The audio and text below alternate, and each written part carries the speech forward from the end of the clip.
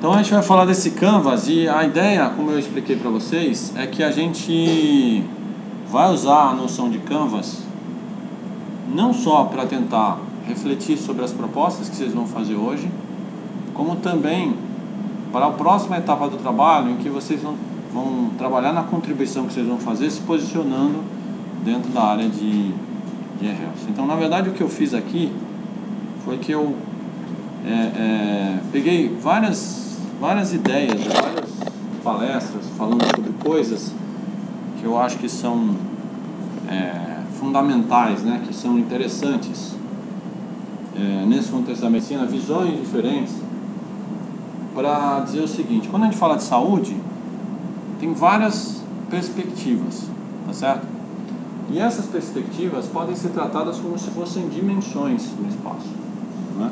Vocês vão entender mais ou menos quando eu começar a dar exemplos. Então, no fundo, e tem uma palestra que eu vou mostrar para vocês, que foi quem abriu minha visão sobre isso, onde o palestrante fala sobre a forma tradicional que se pensa em medicina e a forma como devemos pensar em medicina. Essa coisa do Canvas, ele é uma coisa antiga é, que eu ah, comecei a, a, a, achar interessante quando eu pela primeira vez vi um Canvas é, chamado Business Model Canvas. Né? É, esse, esse tipo de conceito, esse tipo de coisa, ele foi usado na área de negócios. E a ideia do Canvas na área de negócios é que você vai ter ali um, um, um espaço, né? É, ele é considerado um template para o desenvolvimento de novos negócios, né? E ele foi criado por esse é, Alexander Osterwalder? Ele é uma coisa assim, tá? Ele é um quadro onde você tem é, é, variáveis ou dimensões que você tem que pensar, o que você tem que explorar sobre o negócio. Por exemplo, imagina que você quer criar um novo negócio, tá? E você tem que fazer todo uma, um estudo, uma reflexão sobre o seu negócio. Então você vai tentar pegar esse seu negócio, vai tentar enquadrar em alguns elementos. Por exemplo, aqui você tem é, key partners, que seriam quem são os seus parceiros, né, os principais, né, aqueles que são chave para o seu negócio. Quais são as atividades chave da sua organização? Quais são os recursos chave? Qual é o valor que a sua organização se propõe a apresentar para a sociedade? Tá? Eu estou passando pelos quadros rapidamente, tá? porque a gente não vai aprender a fazer business. É só para você entender a ideia, né? Qual é, como é que é o relacionamento com os seus é, clientes? Quais são os canais que você vai usar para chegar a eles? Tá? Quais são os segmentos de clientes que você vai atender? Qual é a estrutura de custo e qual é, qual é o e quais são as formas que você vai conseguir é, receita, né? Revenue. Então, esse, esse quadro. Ah, aqui tá melhor, né? Pra ler. Eu esqueci de. Bom, mas é a mesma coisa que eu falei, só que eu esqueci que eu tinha esse aí, né? Então, esse quadro é uma espécie de um quadro onde você vai ser é, orientado a refletir sobre a atividade que você vai desenvolver. Então, é, ele ajuda você a fazer uma espécie de checklist também, não esquecer nada do que você precisa pensar na hora que você vai criar um novo negócio. Então, ajuda muito a você se planejar, a você pensar o que você vai fazer. É, e geralmente, na, no, nos lugares onde se usa o Canvas, se usa esses post-its, né? onde você coloca o você coloca as as ideias, por exemplo, sei lá, quem são aqui? A empresa fictícia CWB Hostel, né? Que está nesse endereço aí. Quem são os parceiros-chave? Aí põe lá, editoras, revistas de viagem. Então, geralmente o que acontece? Você reúne um monte de pessoas numa sala, né, para discutir a coisa.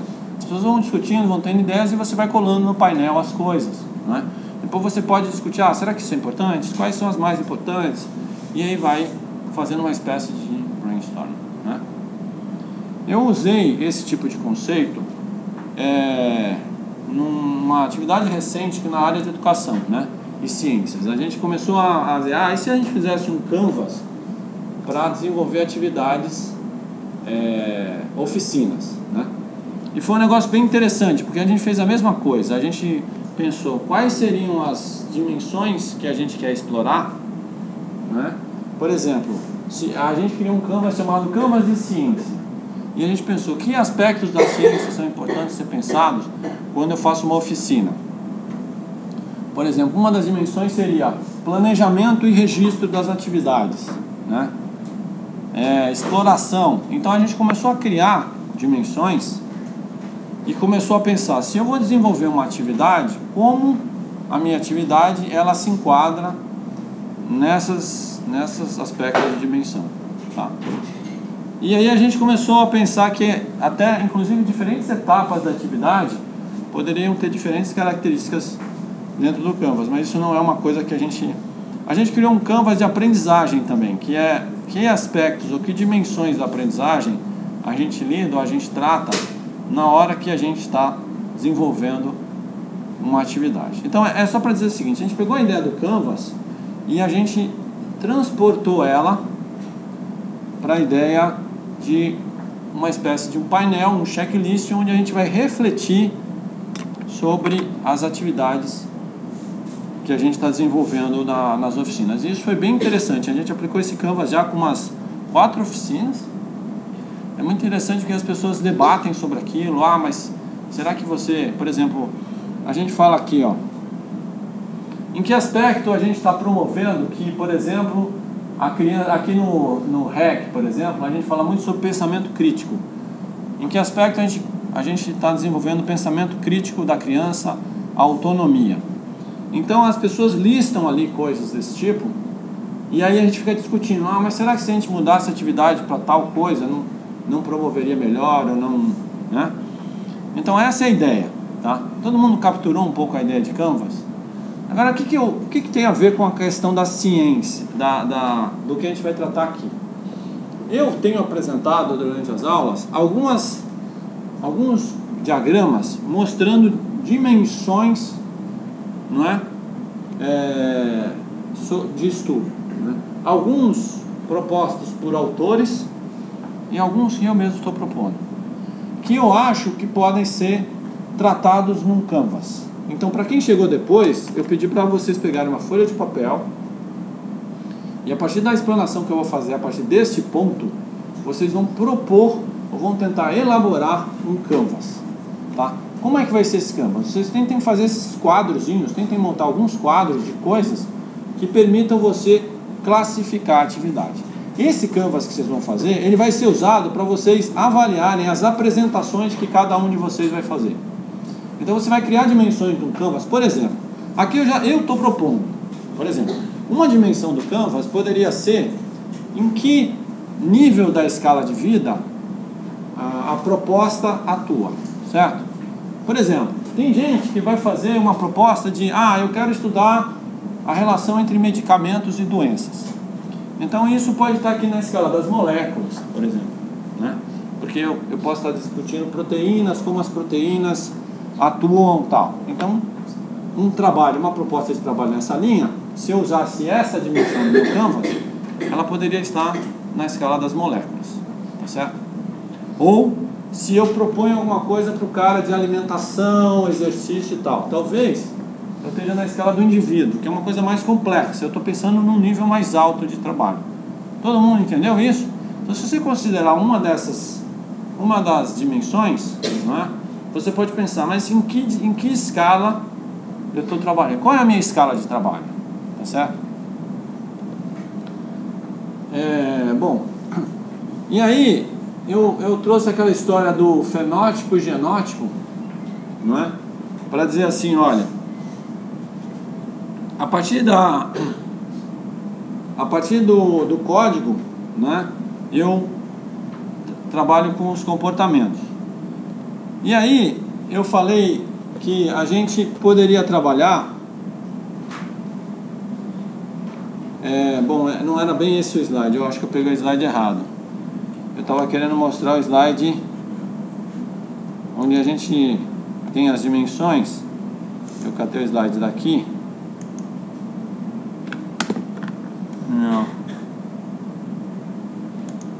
É esse aqui, na verdade, né?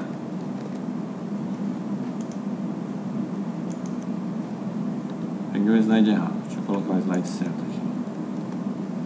Então, quando eu estava falando disso, eu falei de um outro, uma outra dimensão, não é? E que é uma dimensão que eu acho que a gente pode analisar nas propostas, é o seguinte: o tipo de dado que eu estou trabalhando, ou que eu vou trabalhar na minha proposta, é um dado que trabalha nessa dimensão descritiva, né? eu estou acessando bases que tem, sei lá, por exemplo, lembra que eu falei de ontologias ou descrições de seres? Ou eu estou indo nessa dimensão de catálogos, né? Sei lá, alguém tem, eu tenho um catálogo de ocorrências é, de doenças e de, e de coisas, né? Ou eu catalogo é, é, relações de ocorrência de medicamentos que deram problema, né?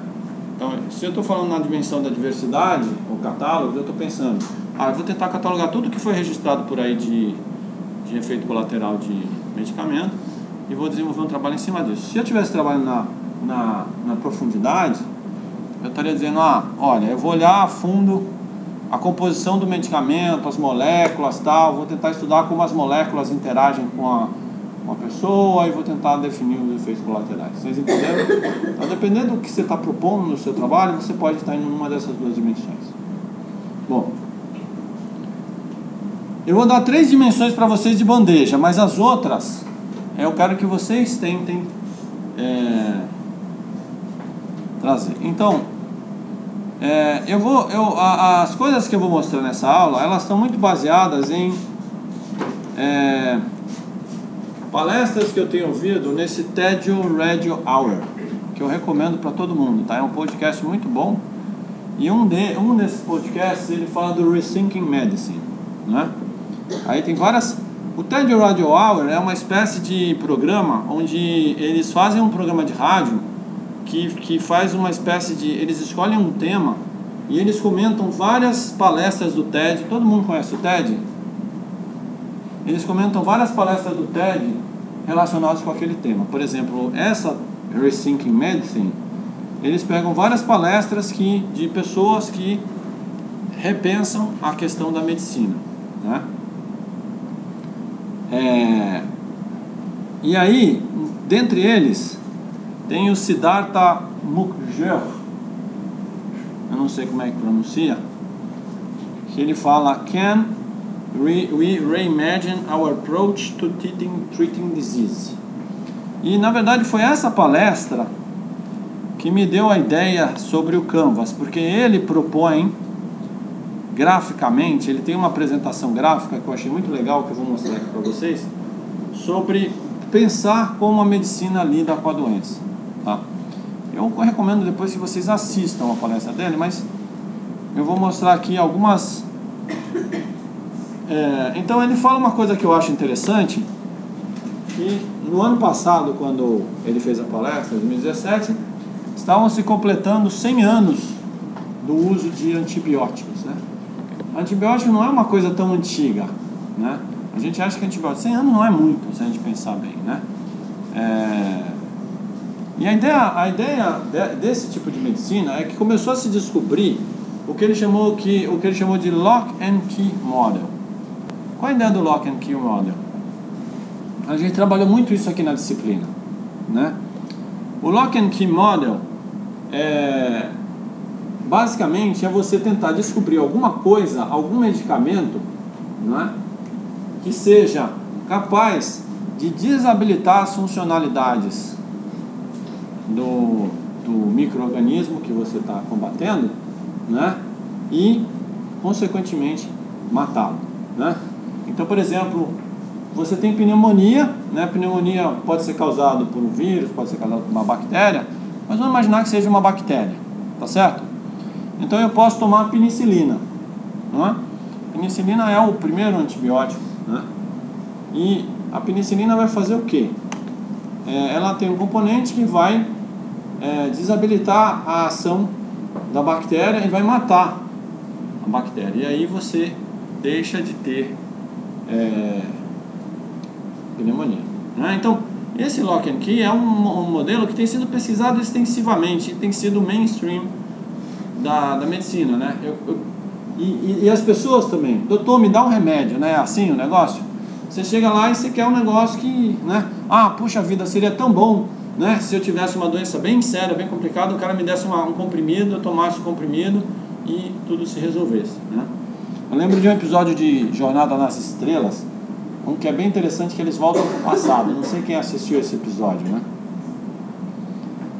Todo mundo sabe o que é Jornada nas Estrelas, né? Pelo amor de Deus, né? Vocês sabem que o princípio do cara ser da área de computação é ser meio nerd, né? Todo mundo sabe quem é o Dr. McCoy? Não? Não. Eu acho que eu vou sugerir que a Unicamp coloque lá na, na, na seleção teste de quanto o cara é nerd, né? Porque se o cara não for nerd, ele não pode ficar aqui, não dá para sobreviver nesse curso. Então, o Dr. McCoy, ele é o médico da tripulação da Enterprise. Enterprise todo mundo sabe o que é, né? US Enterprise, né? Todo mundo sabe. Aí todo mundo sabe, né? Enterprise, que tem um discão ali e tal. Mas aí Star Trek, não é Star Wars. É, é Jornada nas Estrelas, que é o Star Trek.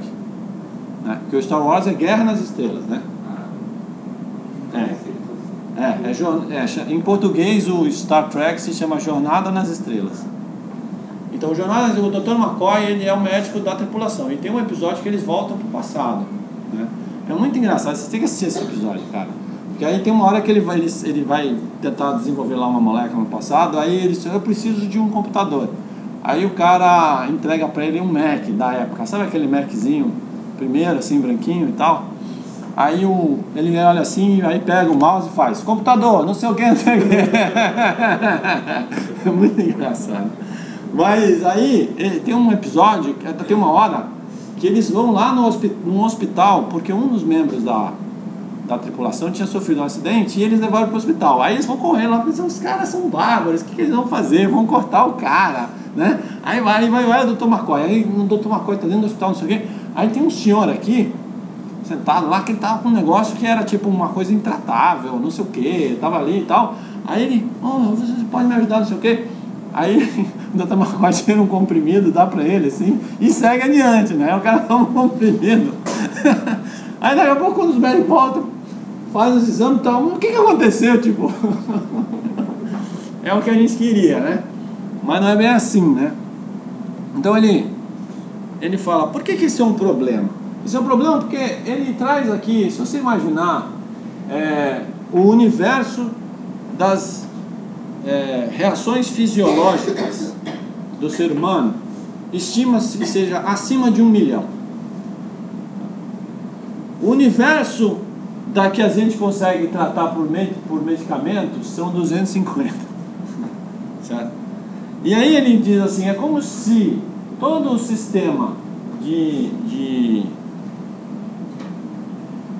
de interações químicas fosse uma vasta rede de comunicações, se a gente com- comparasse com uma rede telefônica, e o que a gente consegue fazer hoje é uma pequena coisinha que inclusive está num espaço periférico do que realmente acontece no corpo humano. Então, isso ainda é muito pouco, né?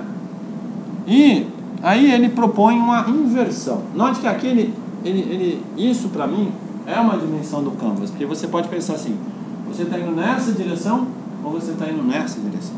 O que é essa direção de baixo para cima? A direção de baixo para cima ele fala assim, bom, imagina células, organi órgãos ou organismos e ambiente, certo?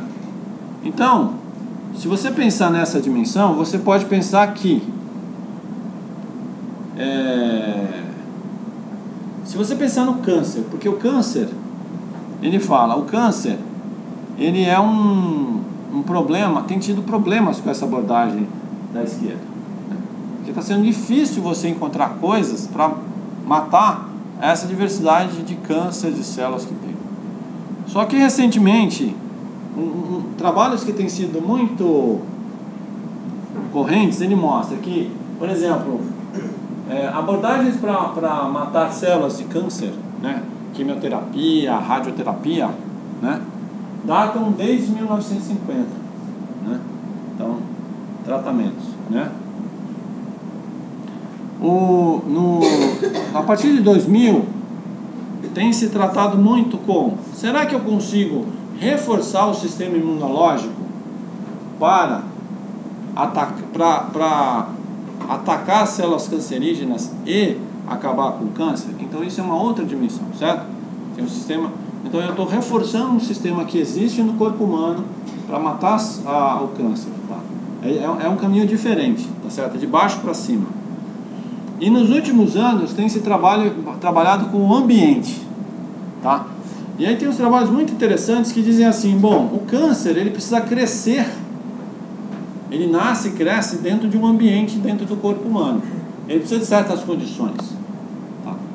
E se eu dificultar esse trabalho dele, não deixando o ambiente ser tão propício. Então, ele começa a mostrar que há uma outra forma, uma outra dimensão, né, que ele, ele fala praticamente de baixo para cima, de você tratar as doenças. E aí vocês podem, vão pensando aí que vocês vão ter que ir propondo dimensões aí no canvas de vocês, tá certo?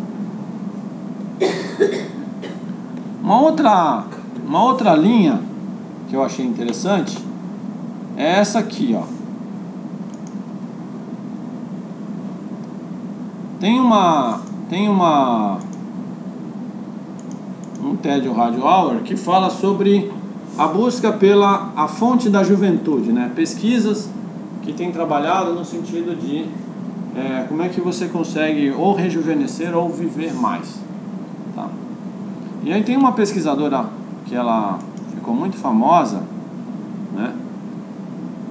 Que essa pesquisadora ela desenvolveu uma pesquisa com o C. elegans. Eu não sei se vocês sabem o que é o C. elegans. Alguém sabe dizer? Ele está passando aí na tela. Alguém imagina o que é o C. elegans?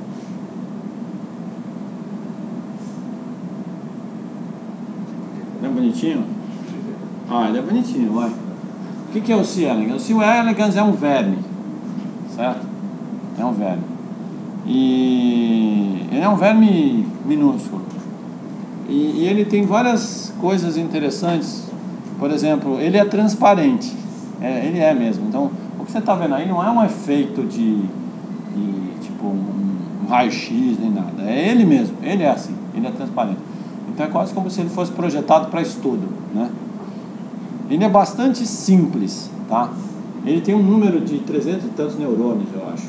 Então, se você quiser estudar um sistema neurológico, é muito fácil estudar o sistema neurológico dele, porque tem poucos neurônios. Assim.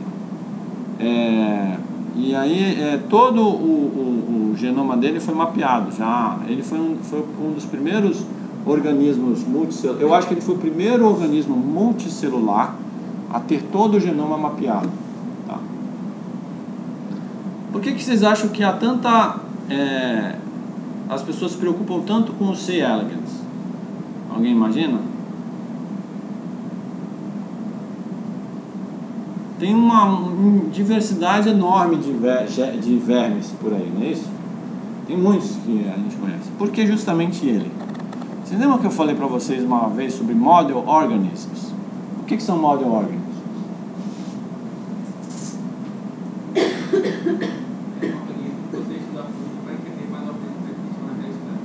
Exato. Então você escolhe um organismo, tá? Então para cada grande classe de seres vivos, você escolhe um organismo. Né? Por exemplo, no caso dos insetos, tem a drosófila melanogaster, que é uma mosca, né? que vocês devem ter estudado no colégio. Eu estudei no colégio, não sei vocês. Né? É... No caso dos peixes, tem o zebrafish, né? que é um peixe, que foi escolhido. Né? A, a, escolha tem vários critérios, né? porque ele é fácil de estudar, porque ele tem que ser um, um, um organismo que você consiga reproduzir em laboratório, porque senão você não vai ficar caçando toda hora para ficar estudando o negócio. Você tem que ter capacidade de reproduzir ele em laboratório, inclusive para alguns experimentos, né? É, e, e, o C. elegans é exatamente isso. Inclusive, toda essa facilidade que tem, já que ele já é transparente, até de estudar. Então, ele é um model organism que foi escolhido no caso da, da... O que, que isso tem a ver com essa pesquisadora? Tá? Essa pesquisadora descobriu depois a gente vai ver isso mais em detalhes, que existe um, uma, um gene é, que controla o envelhecimento do C. elegans. E que, porque ela começou a perguntar o seguinte, o que é que determina até quando a gente vive? Em média, né? Por que, que o ser humano vive em média até 80, 100 anos de idade, por exemplo? Por quê? Ah, é porque a gente tem a nossa Constituição? Não, porque você consegue, não tem tanto a ver com isso, porque, por exemplo, tem peixes que vivem 100 anos, certo? E ele é pequeno, é mais simples talvez, ele vive 100 anos, certo? O patos, ou... Tem animais grandes, né? tem cachorro, o cachorro vive bem menos que a gente, e tudo bem, ele, ele é um pouco menor do que a gente, mas, pô, se você olhar a estrutura, a complexidade, ele é muito semelhante a um ser humano, né? Ele vive menos que a gente. Né? Então, o que, que faz um animal viver mais ou menos. Aí ela foi estudar e ela começou a mexer nesse gene da C. elegans. E no primeiro, no primeiro experimento eles conseguiram dobrar a, o tempo de vida médio. Que a, a C. elegans vive muito pouco. Parece que é 8 dias, sei lá, um negócio desse. Aí ela conseguiu botar para 16. Certo? E, e é o interessante que ela falou que quando eu dobrei a vida da, da C. elegans, ela não envelheceu no mesmo ritmo e depois ficou mais tempo velha. Né? Ela foi envelhecendo mais devagar. Então é quase como se você pegasse, sei lá, eu estou chutando um número que eu não lembro, mas se você imaginar que ela vive oito dias, se você pegar uma C. elegans de quatro dias que não foi modificada e uma C. elegans de oito dias modificada, elas são muito parecidas, porque o envelhecimento da modificada é mais lento. Aí depois ela conseguiu quadruplicar, e ela foi mexendo até um ponto que parece que ela, a C. elegans passou a viver dez vezes mais do que a C. elegans original. Então, a, aliás, eu acho que não eram 8, eu acho que eram 18. Parece que a, a original era 18, ela conseguiu fazer a C. elegans viver 180 dias. Só mexendo no gene. Okay? Então, essa é uma outra dimensão que você pensa em que você vai estudar geneticamente a estrutura do ser humano e você vai mudar a estrutura genética para ele se comportar diferente. Consegue imaginar isso como uma outra dimensão? Eu estou fazendo o corpo se comportar diferente. Tá? Vocês estão conseguindo capturar as ideias e. ou não? Tá, a galera tá com uma cara. Bom. Bom, aqui é uma outra dimensão. É, aqui também é do Rethinking Medicine. É, é pensando assim: o cérebro pode curar a si mesmo? Né? Então ela mostra um estudo interessante que eles é, descobriram um conjunto de células do, do cérebro que se comporta como se fossem um, células tronco. O comportamento é semelhante. Elas se dividem, se multiplicam. E elas descobriram que eles podiam tirar essas células e injetar numa parte que estava é, danificada e aquela parte se reconstituía. É, então é você usar um pedaço, uma parte do corpo para curar o próprio corpo. Lembrem de ir tentando registrar isso aí. Aqui tem um grupo de coisas que é contra fighting cancer, tá? que é luta contra o câncer. Então aqui tem um cara que está pensando o seguinte: é, esse, esse pesquisador ele falou assim, olha, tem pessoas que tem câncer de ele tem pessoas que se negam, por exemplo, a fazer os tratamentos clássicos de câncer, né? Ele estudou praticamente um grupo de pessoas que se negavam a fazer tratamento de câncer de próstata. Os caras não queriam fazer radioterapia nem quimioterapia. Né? Então ele resolveu trabalhar com esse grupo. Ele desenvolveu toda uma, uma agenda que envolvia é, alimentação, é, lazer, vida social, vários aspectos. E ele trabalhou com esse grupo para reformular todos esses aspectos da vida. Né?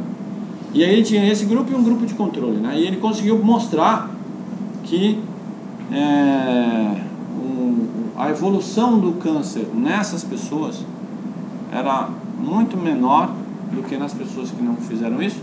Em alguns casos, ele poderia até reverter alguns aspectos do câncer. Ele disse que isso não serve para tudo e isso não é a solução final, mas é uma coisa, um estudo interessante, é você é, é, trabalhar com o corpo, trabalhar com alimentação, trabalhar com.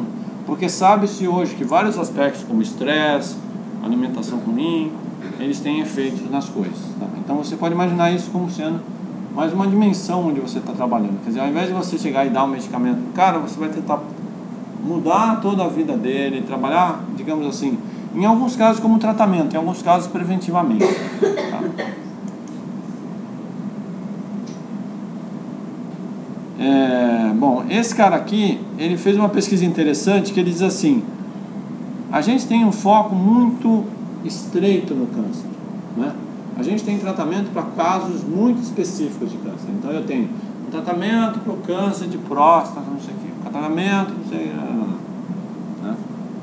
E aí ele começou a mostrar que poderiam se fazer perguntas mais amplas, mais genéricas sobre o comportamento do câncer. Coisas que o câncer.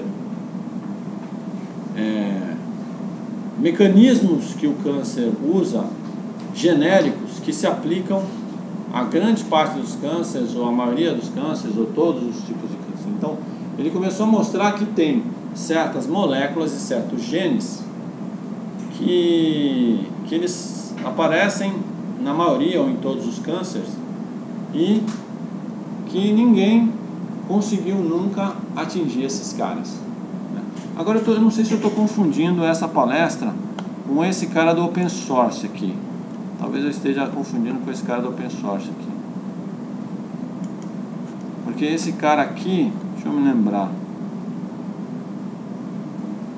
É. É, esse cara fala em pensar mais amplo e interdisciplinar. Eu não lembro bem. Eu acho que eu estou confundindo a palestra dele com esse cara aqui, ó. Que, que fala que parece que eles conseguiram alguma coisa para esse tipo de. É isso mesmo. É isso mesmo. Esse, é esse cara aqui, ó. Que tratou essa. É, essa molécula, né? Atacando essa proteína. E ele propõe que se fazer um, um repositório open source dessas, dessas coisas para trabalhar com moléculas do mesmo jeito que a gente trabalha com software. Onde cada um, na hora que está descobrindo, pode compartilhar, o outro mexe, não sei o que. Tá, tá. Bom, então eu dei uma passada no, nesses vários carinhas aqui. E qual é a intenção nesse caso aqui? O que, que eu queria que vocês tentassem pensar? Eu queria que vocês tentassem pensar que é, há essas várias dimensões em que a gente pode pensar sobre, sobre, as, sobre tratamento e doenças. Eu queria que vocês tentassem pensar numa forma de pensar isso na forma de um canvas, como eu tinha falado para vocês, onde você tem aspectos que vocês poderiam e deveriam avaliar sobre as propostas que estão sendo feitas.